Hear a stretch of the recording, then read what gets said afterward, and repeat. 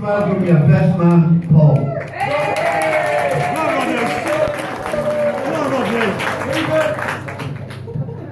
Can everybody hear me okay? when Luke asked me to be his best man, the pride I felt was quickly overtaken by relief. Relief that I was getting married before him, so there can be no reprisals for what I am about to say. I'd like to start by congratulating Suzi, even though she's probably sick of hearing it by now, on bagging herself such a hunk. and also for now having a famous name. She's Suzi Kennedy, of Odd Neighbours fame. she won't like me saying that because I know she's quite sensitive about her name. I once affectionately came up with my own little pet name for her, which wasn't received as I had hoped. It was at the same time when the nation had taken Susan Boyle to their hearts and taken the, the first two letters of her first name and the first two letters of her surname and combined them in an affectionate manner to produce Subo. in the same loving way, I generated Subi. And when I called it for the first time, I quickly regretted it. what did you just call me? She asked politely. Subi, I cautiously replied. Subi? She questioned, asking less politely. Yeah, you know, like Susan Boyle. I panicked with the increased tension and didn't explain it very well. She responded quite assertively and unleashed a torrent of abuse that I've only ever witnessed before by an extreme sufferer of Tourette's syndrome.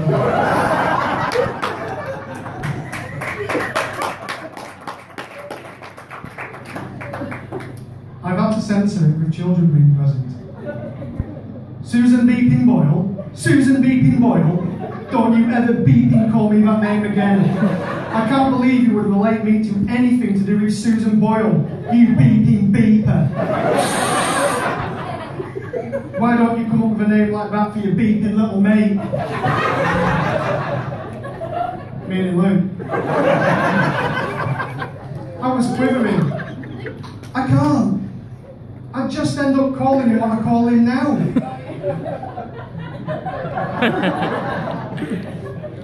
yeah, yeah, whatever. Don't ever beeping call me that again. And I never did.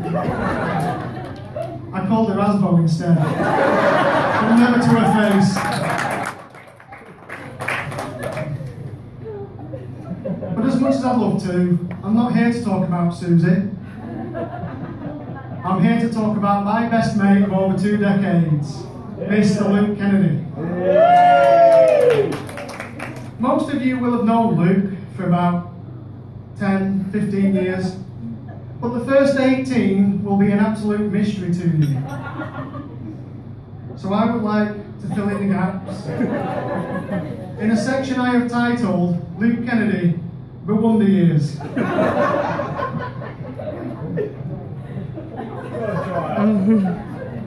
Luke Stephen Kennedy was born on the 9th of May 1982. He was the second child of Steve and Chris Kennedy. Just so you know, Chris is short for Christine, just in case anyone was thinking there was some kind of Elton John type of age.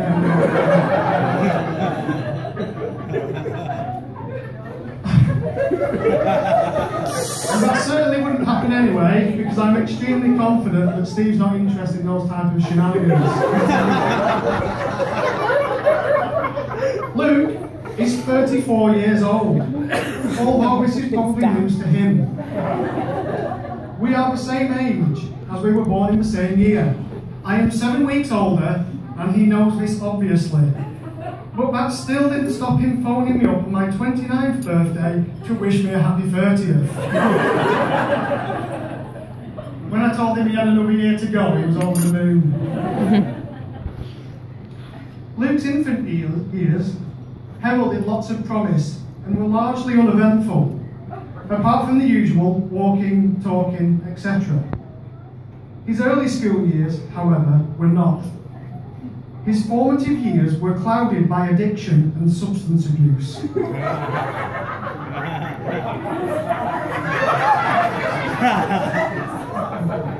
Cherryade and Calpol threatened to derail Luke's promising primary school career. His mum, Chris, intervened and he was placed on sugar-free cherryade and moved on from infant suspension cocktails to the orange-flavoured horrible stuff for children of his own age. These changes were enough to get his life back on track. Of course, later in life, these vices would be replaced by nicotine and beer. Primary school flashed by, and Luke was invited to attend Lancaster Royal Grammar School. This was an institution that for over 700 years had educated the brightest young minds and prided themselves on developing generations of successful young men and giving them the tools to elevate society and drive humanity forward.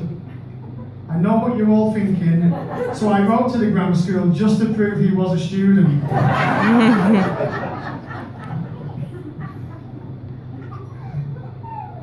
There's a laugh.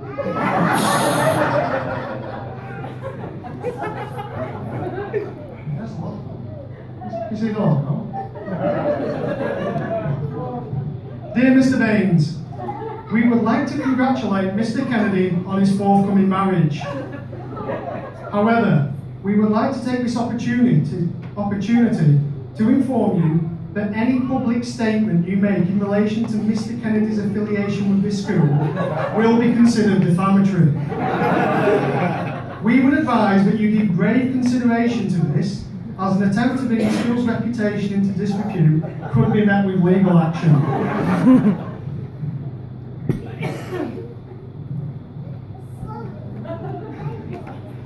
At 13, he was to make an acquaintance that would change his life forever. For the better, of course, which is when he meant me. It was the summer of 1994, at Westgate Under 13's pre-season training. Whilst locking our bikes up, we struck up a conversation and immediately hit it off like the proverbial house on fire. His social skills were somewhat lacking, and his general line of conversation was, Do you know him?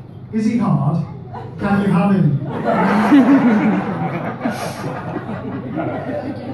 After a few hours of exhausting every person he had ever heard of, we soon realised we had a shared love of football and both owned Commodore Amigas. We agreed to swap games, and very soon we were playing with each other's floppy disks. that is the one point where I didn't want to get tongue tied. From this point on, we were practically inseparable. Luke introduced me to music. We would often sit in his bedroom listening to his favourite tracks, and if it was particularly catchy, like Rhythm is a Dancer by Snap, he would choreograph his own dance routines. the bands that particularly spring to mind are Manic Street Preachers and Blur, but his favourite, of course, was Oasis. We would listen to the album Definitely Maybe repeatedly, and Luke would always sing along to cigarettes and alcohol. But you knew that in his subconscious, he was changing the words to Cherry and Calpol.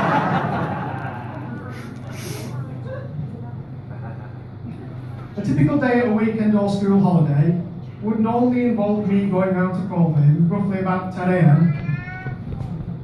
We would spend the majority of the daylight hours honing our football skills, and in the evening we would look to develop our antisocial skills. We were a scourge of every neighbourhood watch area in Heysham. We would routinely get chased by the likes of Yeti, Monkey Island, and the slowest of the lot, Slippers. we were the kings of back garden hopping, which required SAS level stealth skills to avoid detection. Any noise and you were faced with angry adults or disgruntled dogs. Every Friday night we would relax on the promenade, taking in the sunset, and trying our best to destroy our developing livers with a crate of Worthingtons or Tetley's smooth flow. At 15, he finally began his journey into adolescence. Although he was a late bloomer physically, it would not be long until he developed a volume of chest hair that can only be described as gorilla-like. If he was to reveal it now, it would generate the same level of shock as when Ryan Giggs removed his shirt after scoring that FA Cup semi-final goal against Arsenal. Luke was the archetypical in-betweener. He always seemed to be searching for his place in the social order, and due to his lack of common sense and desire to be cool, it would almost always lead to hilarity. Especially later on in his teenage years. I have seen him ride off a moped without even riding it. A friend brought round his shiny new birthday present, and Luke tried to rev it like a Harley Davidson while stood next to it. Of course, they're automatic. And as it took off, his hand got stuck between the handlebar and brake. He was finally able to stop it when it collided with a wall at 12 miles an hour. At 16, Luke left school and went to work for Moll Industries on White Lund as an apprentice maintenance engineer. Due to his size, they affectionately dubbed him Little Boy. It was here where he learnt his trade. Now he had a steady income, he was able to start saving for the ultimate item that would catapult him to the top of the social pyramid and set him apart from the crowd. If there's one thing that Luke's had more of than kids, it's cars. Upon reaching 17, with a healthy bank balance, Luke began driving lessons and would take several a week to accelerate his dream. There would be a failed test in between, but it would not be long before he was let loose legally on the road. His first car was a Mini Metro, which had been rebranded as a Rover Metro, but for all intents and purposes, it was still a Mini Metro. He would often put on his rhythm as a dancer tape and screw it down the bypass to see how quickly he could get to 60. Typically, it would take 18.7 seconds. It was this car that nearly led to the biggest disaster ever witnessed by Heysham. The visitor headline would have read, Five teens killed in Mini Metro bypass smash. But fortunately for us, it happened five minutes later on Asda car park. Somehow, the wheel sheared off from the axle on turning the corner. The chassis slammed to the floor, creating a melee of sparks it ground to a halt, and the tyres sped off, bouncing over cars, and nearly ended up in someone's boot as they were packing their shopping away. The whole car park ground to a halt until Kenny Allen's auto wreckers came to salvage the wreckage and also take with it Luke's hopes and dreams. but he would not be perturbed and was soon in possession of another automobile. His haste to be a road user yet again and reclaim his status in the social elite. As it frequently would in future car purchases, to him punting on the Nissan Sunny. A, a car not normally associated with boy racer wannabes and more akin to certain ethnic communities and the elderly. But he's made, he made some modifications which made him stand out from the crowd. He bought alloy wheels Yeah. and a big bore exhaust that could be heard from streets away.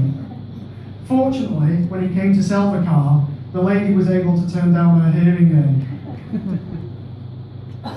After selling the Sunny, it was a Ford Fiesta XR2i that ended up blowing out more smoke than a red arrow. And it is here where the love story begins. Luke met a wonderful young lady who was besotted with him, willing to accept his bizarre addictions, and was a joy to behold. I'm only joking, this is where I met Suzi. they first met with Suzi Barely Legal to play the lottery or purchase cigarettes. Initially, she was not too enamoured with his advances, but like a lot of young women from the Rochdale area can testify to, she was not the first girl to be seduced by a man with a chest wig who'd been in all over his Sunny.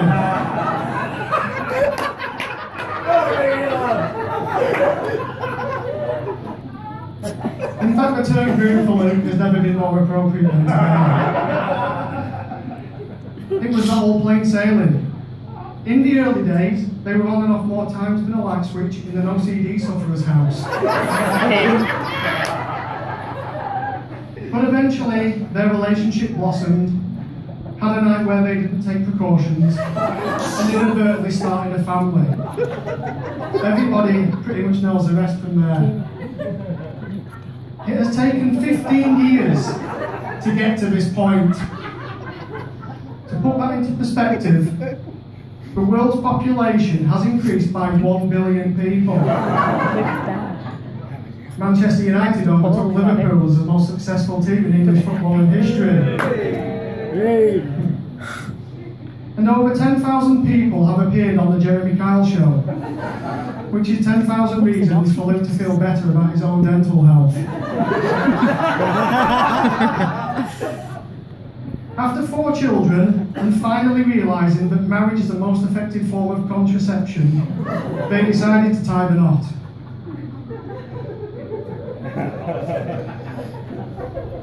I've given you the version that is customary for these events and spent the last 10 minutes or so ridiculing Luke for comedic value. But it's not a true representation of my feeling towards this man. I love him like a brother. I know I can ask anything of him and he will do his best to help.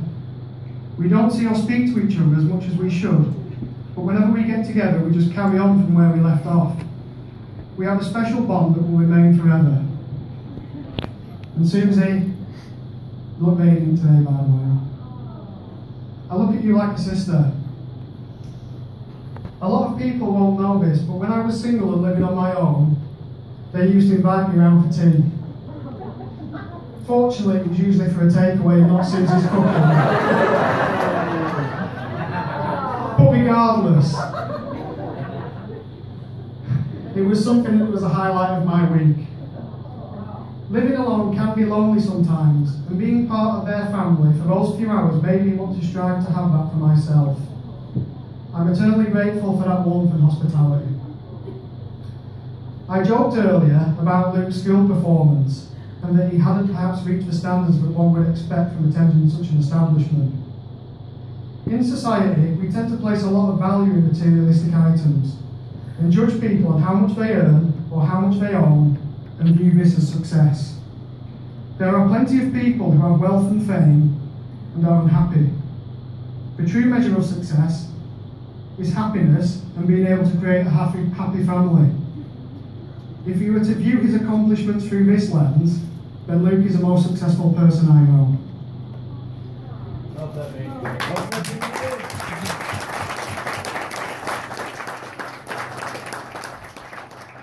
He has always provided for his family and always put them ahead of himself.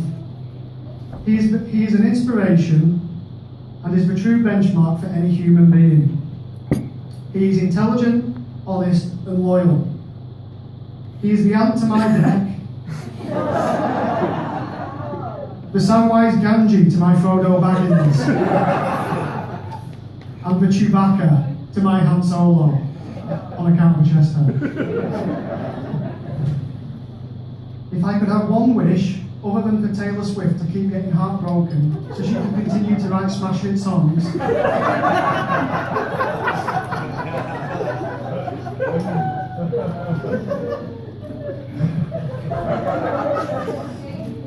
it would be that my own son has a friend like this gentleman beside me. He has made me laugh to the point of crying and made me laugh at the brink of tears. We spent the most difficult years of life supporting one another, and I'll always be there for him and his now wife. I hope he won't need it though, and that he and Suzi have a prosperous and happy future together. Everybody, please raise your glasses for the bride and groom. Told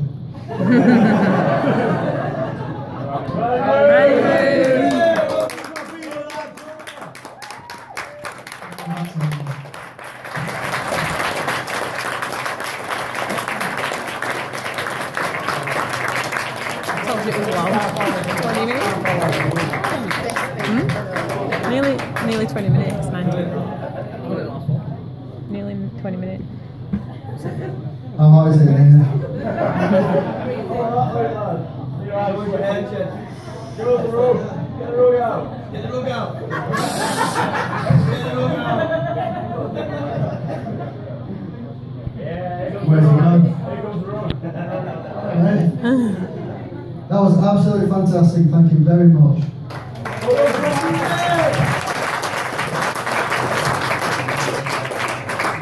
Big thank you to your speech, Alan.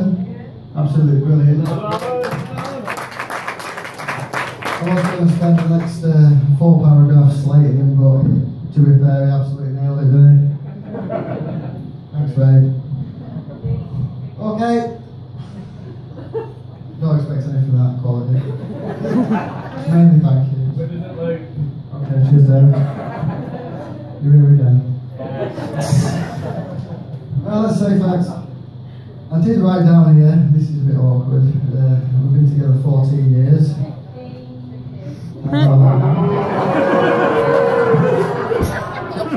and I had a bunch of researched on what else has lasted 14 years.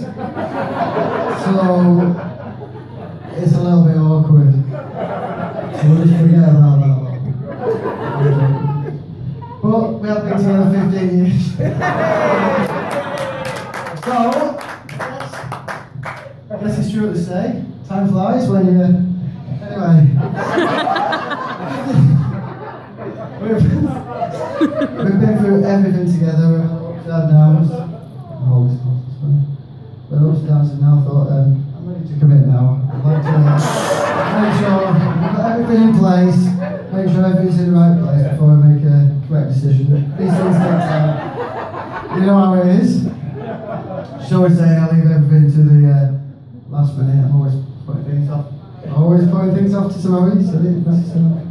Never do things instantly. I think uh, some people some people call it procrastination, I believe, but I was trying to research the uh, definition of procrastination for this uh, speech, but I couldn't be bothered. I thought I'd leave it till tomorrow, but I only wrote the speech this morning, so it's all backfired.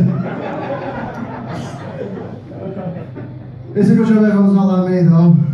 The hard work and effort that's going to put in this wedding together, the actual little things, the little things you don't realise that are involved in a wedding. It's alright.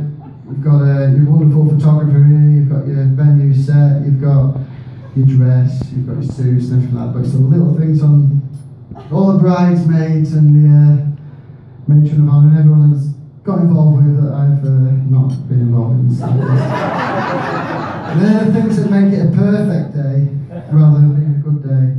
And you've all been absolutely fantastic. I'd like to say massive thank you to you, Jess. I'm actually beginning to like it. You've been absolutely awesome this last couple of weeks, and, and also and, and, uh, and all the other bridesmaids. Oh yeah, Sophie, don't forget Sophie, I do apologise. If I do forget to thank someone, I do really apologise. But they're the things that really count in these situations. Just um, like I say, we've been together for 15 years. I never wrote it. Bert did. no, joking. It'd be good if he wrote it. 18 months ago, you proposed, I proposed to you.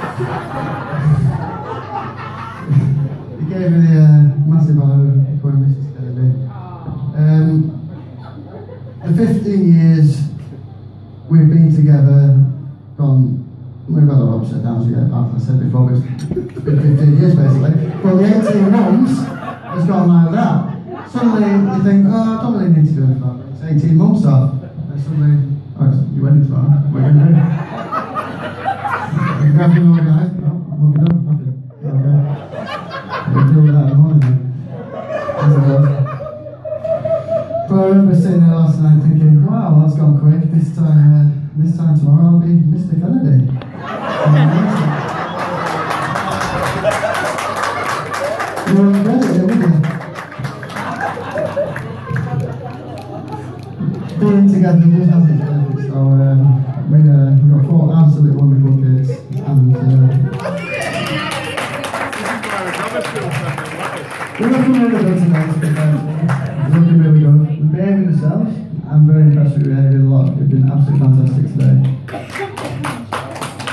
We've, uh, we've been together that long now. We know each other inside out. We know how each other tick. We um, we know you know who to blame. Well, not who to blame for everything. That's, that's the way it works. But uh, I know you so well. The only thing, the only thing I'm yet yet to conquer is learning how to uh, disable the autocorrect feature in Suzi. But other than that, it's a mental household, yes, you know. You're the only woman in the household. We have uh, five men in there, four young lads who have absolute nut jobs. And um, love the lads, but I think you'll have to um, understand that lads never actually grow up. They just learn how to. They just learn how to act in public. She needs it, I think. I hope we're happy together, and uh, we have got a really long relationship, and I can honestly say that you look absolutely. I said we'll have a really happy relationship, not a long relationship. You've probably 15 years. Smile a bit. Just, I'm not being. I'm not being. Well, what's that? You look absolutely stunning today, Suzi. Absolutely beautiful. Thank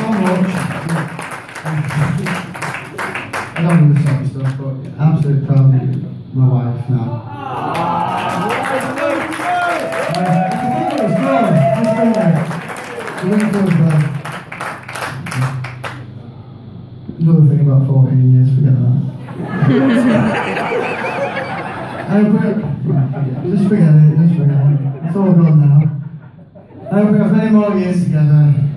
Many more. A bit more than 15. well, 20, 20 will do, 20 will do. Uh, Basically, my, my job here today is to uh, thank everyone for coming here today. Absolutely fantastic. Thank you for coming. And I've got a few gifts to give out and a few thank you, special thank yous out. Again, thanks for coming 10,500 miles. Much appreciated. Fantastic niece, and my uh, lovely nephews who I haven't, one of them I've never seen. Absolutely special, and special.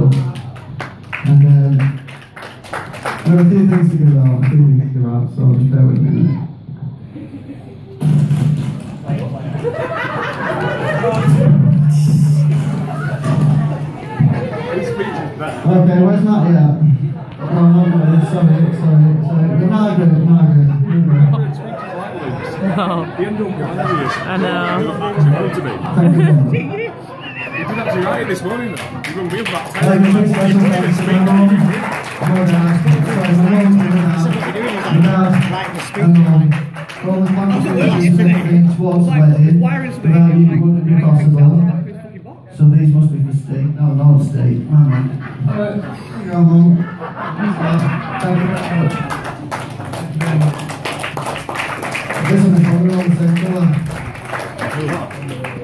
This is for you, Dad. Thank you very, very much. Take it, guys.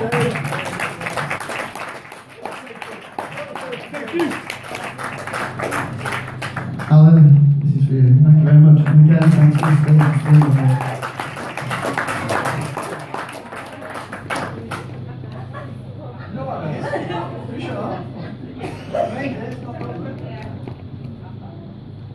George, is he next to you? That was an absolutely fantastic speech. Thank you. Well, Riley Schlocker. Very much, Riley. I'll come out to see you. Thanks, mate.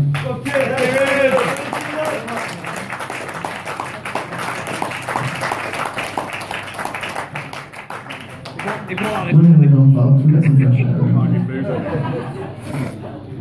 You got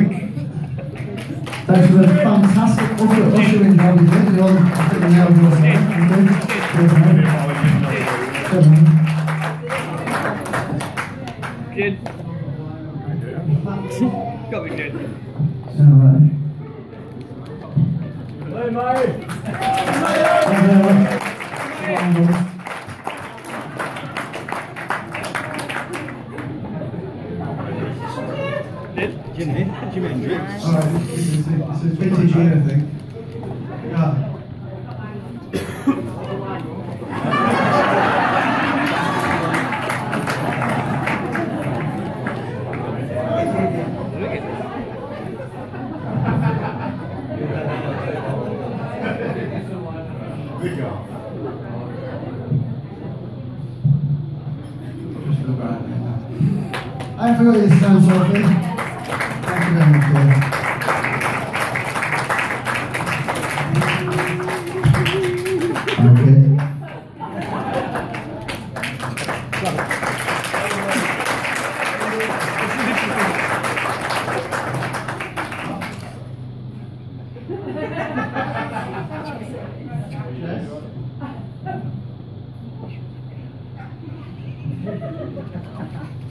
Emma, thank you very much.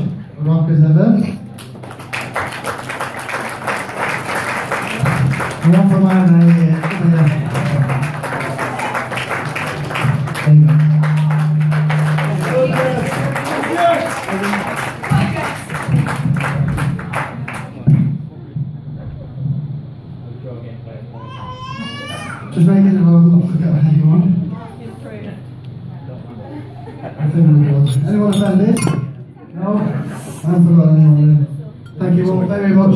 Elizabeth and Sharon Istanbul. So grateful for